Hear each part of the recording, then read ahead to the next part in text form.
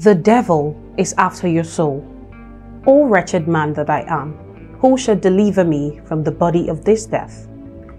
Align yourself with the truths in this video. Take position.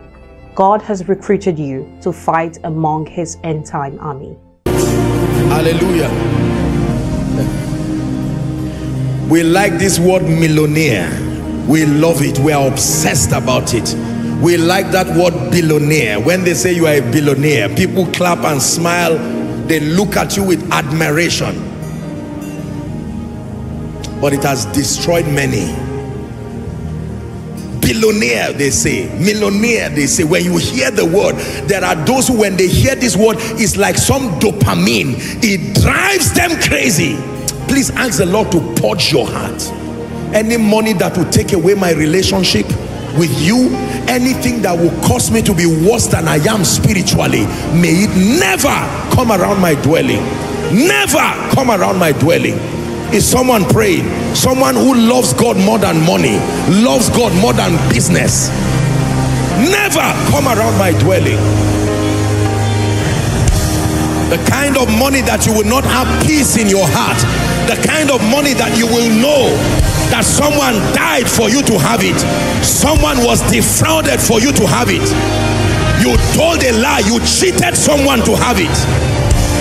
The fruits of corruption and dishonesty and falsehood.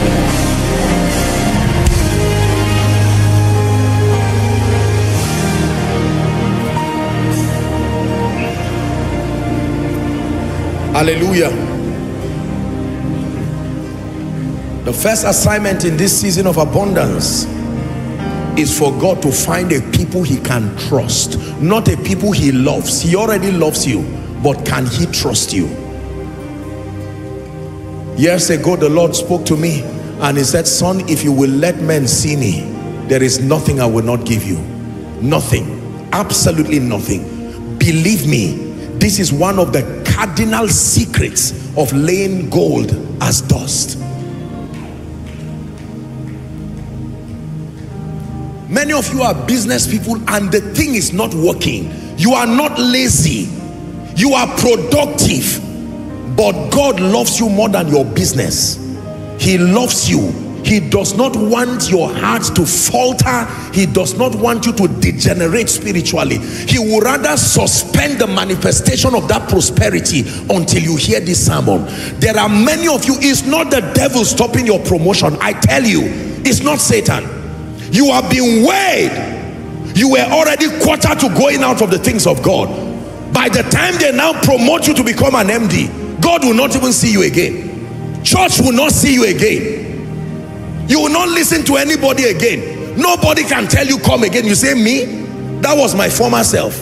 You are talking to the one who was broke. That jeep parked outside belongs to me. That estate there belongs to me. And God says nonsense. You are a tenant. The earth belongs to the Lord you know what made someone in the Bible to be called a rich fool? It was not the rich. The fool was that he did not understand the purpose. Why did God give you dominion over his resources? Why did God make you a captain over his inheritance? I live perpetually in this consciousness that everything God ever places in these hands it truly belongs to him. And I'm not just saying this because I'm a preacher. Fight greed now before it tears you into pieces. Fight selfishness now before it turns you to become someone who is not a believer.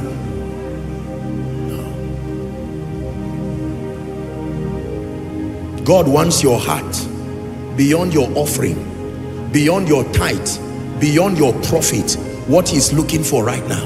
I hope i'm not wasting your time. God gave us a word that is a season of abundance now. The first key is not just to show you some dynamics. You are operating in a system that is not the world system. Can god tell you now to empty your account and you say yes sir i'm not asking you to do it but can you do it? If you cannot do it go back for a retreat if an opportunity to buy a nice house comes can you empty your account for it? Yes. That means that house is your god. Whatever you cannot do for God and you can do for something else even if it's yourself anything you can give all for is your God. You don't like what you are hearing? Listen to it oh. What then is the pride? This is my business. This is my ministry I am this and that. No. Believers don't talk like that because they understand the transactions that happen in the spirit. Don't get me wrong. There are benefits that come. There is glory in riches. There is glory in wealth. But let me tell you the truth. The believer who understands why God releases resources will know that number one God releases resources for your comfort. Number two the advancement of his program. Do you know sometimes I become very ashamed and even embarrassed that believers have to be cajoled to give. It's become a very dirty subject of debate unfortunately even within the church space. It was supposed to be an orientation that responsible believers have that you never have to coerce and manipulate because that should even be the bedrock of your understanding before you're rising financially that I am your treasurer Lord as you trust me you can be sure that a portion of your faithfulness over my life will be reflected in the advancement of your program.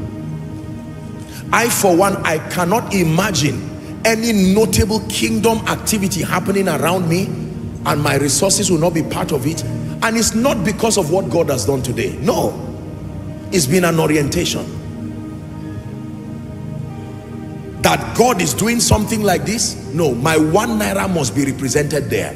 If it is too small you can use it to buy a bottle of water. You can buy a recharge card and make a call for that program to happen for instance. But there are many believers this this is how we are.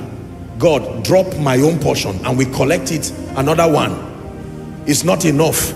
Please add more. In Jesus name. You said whatever we ask in Jesus name more again. I'm not satisfied. You just keep adding. When I'm and God says what do you take me as? But there are others who would not even be asking. They will just cry before him and say father if ever you are looking for someone to advance your program I may not be able to preach but if you can trust me with resources I will take care of my children take care of everyone and see to it that as far as it depends on me that your program goes forward. And God says this is the kind of person I'm looking for.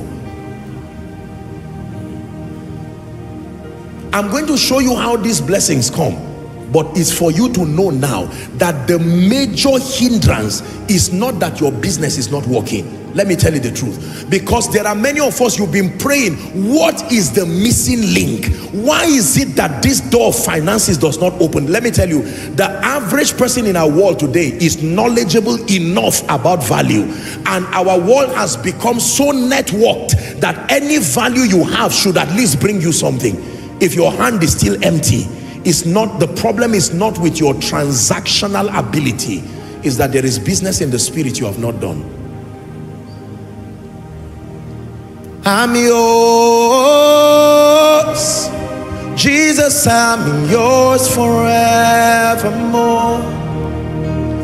I'm yours Jesus I'm yours forevermore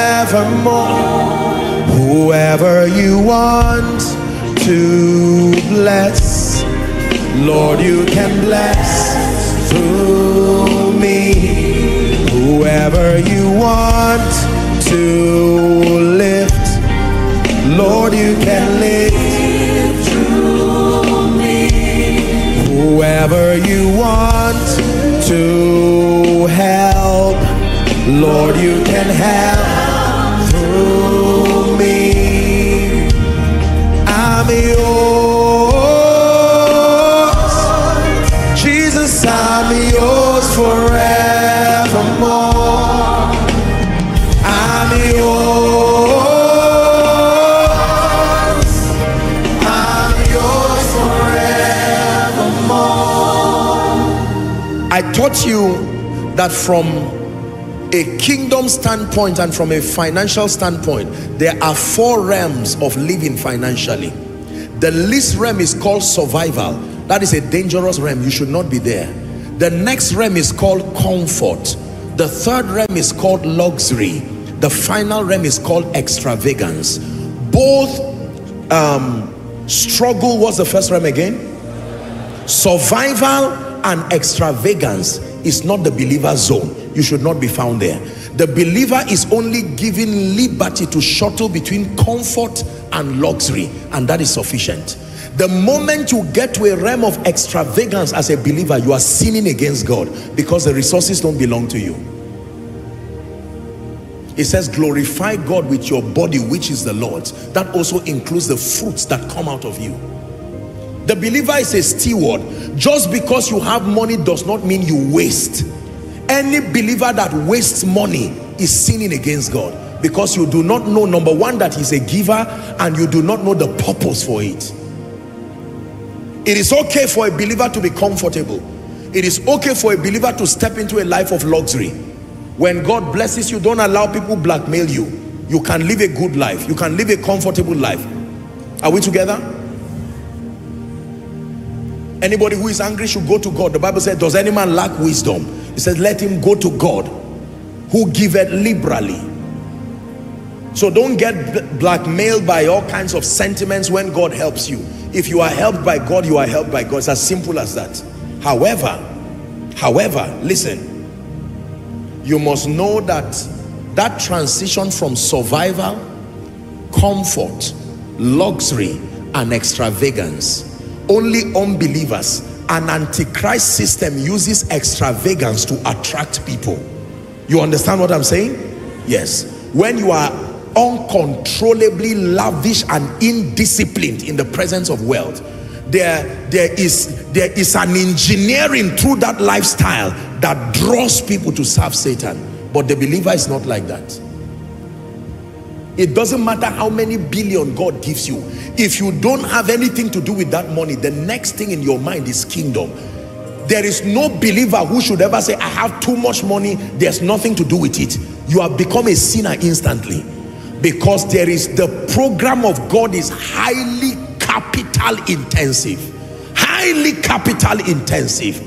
Talk about souls to be won, crusades. You talk about churches to be built you talk about God's program equipment to be bought my goodness and you see the world system will not fund God's program let me tell you that for for sure just have that at the back of your mind Satan will not get up and say take and promotes the name of Jesus he will not do that.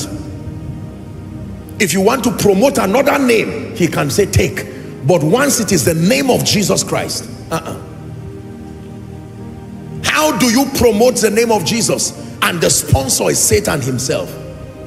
That means the believer if without this advantage you are already disadvantaged. Are we together? Will Satan come and sponsor your children to love the Lord to serve the Lord to live for Jesus no way. Will Satan come to give you rest to transit from a tenant to become a landlord and have the privilege to serve Jesus and worship there? That means you don't know who he is. The bible says he's a thief and that when he comes he does not call satan a giver. Satan does not give. He only uses giving as a tool to take your soul. What shall it profit you if you gain to lose you gain the whole world but you lose your soul so if you look at it with respect to gaining the world you will call satan a giver but when you check your soul you see that was a bad business that you did Hallelujah. There are people today who have joined all kinds of antichrist clubs and societies and it was because of money or for the purpose of making money. And they tell you the only condition is become part of A, B, C and you quietly join all kinds of things to the detriment of your soul. I say it again, the kind of money that will take you to hell May the God of my covenant never bring it to your life.